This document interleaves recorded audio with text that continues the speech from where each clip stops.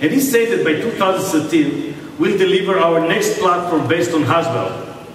We'll completely reinvent the PC and we'll complete the Ultrabook transformation, not that you'll be able to rest. The next transformation will be ahead of us. Before I end my presentation, I would like to share with you some information about Haswell, the next next generation microprocessor. It's going to deliver 20x power improvement, more than 10 days connected standby, all day battery life, you don't have to use the power supply. And this is enabled by the Intel Power Optimizers, where we'll have to work with us and with the ecosystem in order to deliver this great experience. Trust me, you love what you will see. As I said, we are going to put the personal into the PC, and the C will stand for the creativity and the consumption.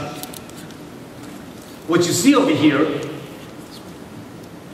is the first test of Haswell, the microprocessor that we are going to deliver by 2013. And it's not only a chip.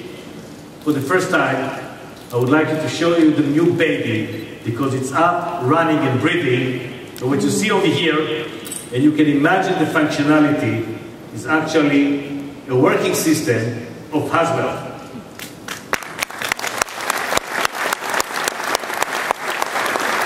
And I'm sure we'll spend a lot of time in order to cover all this new innovation because this product is brilliant and the design team is brilliant and that's the reason we can show such functionality at such an early stage.